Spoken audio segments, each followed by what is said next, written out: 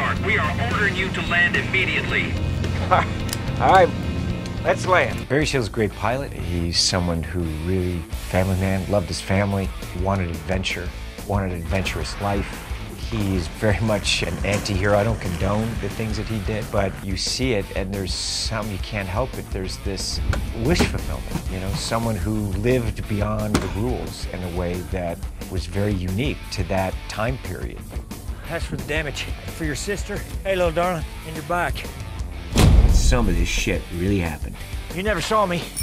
American Made was my chance to tell a story about somebody who screwed over the White House, who took advantage of everybody, and for a long time, and, and you know, really got the most you could possibly get out of a life. Haven't you ever wanted something more, Barry? You should be serving your country. You're CIA.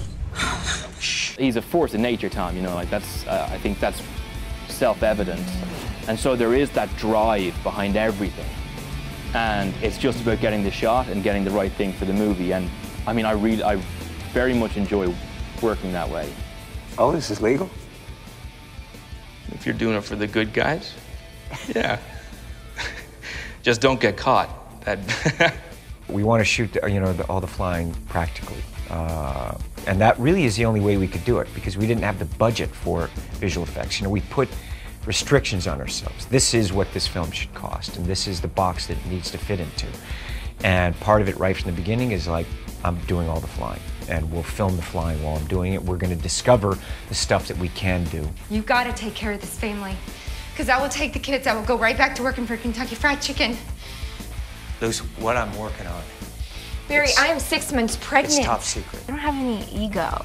Like, what they want is the best thing for the movie and the best idea for a scene or the best, you know, shot. And if somebody else can do it better or has a better idea, they that wins. Like, that's what they want.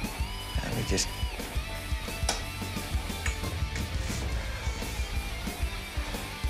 Is this all legal?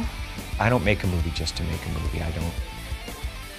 It's not what interests me. What interests me is the passion of cinema, the passion of storytelling. That's when it gets very exciting.